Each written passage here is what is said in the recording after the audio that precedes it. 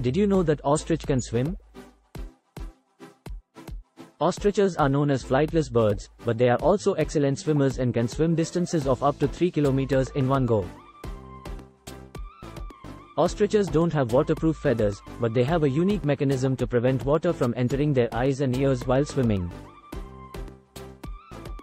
Their long legs act as paddles, and their wings are used for balance and steering. Ostriches are fast swimmers, and their speed can reach up to 70 km per hour on land. Unlike some other flightless birds, such as emus or kiwis, ostriches do not have a specialized breastbone that helps them to swim. However, they have strong leg muscles that help them to propel themselves in water.